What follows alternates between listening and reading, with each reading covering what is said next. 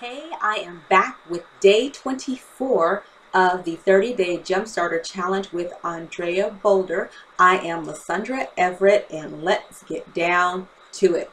So first of all, like I said in every video, we've covered a lot of material in these 24 days.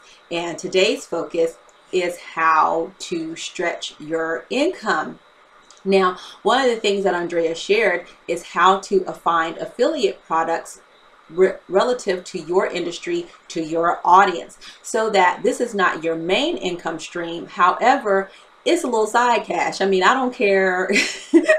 cash is cash. I take all money. Okay. That was from my friend Larry Beecham. He says, I take all money. But here's the deal.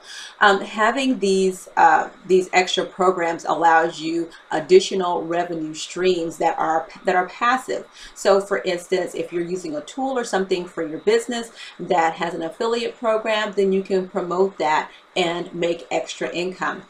It's not your main income stream, but it is a little extra income that, you know, just hanging out there and shows up whenever. So, which is very cool. So one of the things that Andrea shared in the challenge is exactly how to go about finding products relative to your industry that you can promote and bring value to your audience. So that is day 24.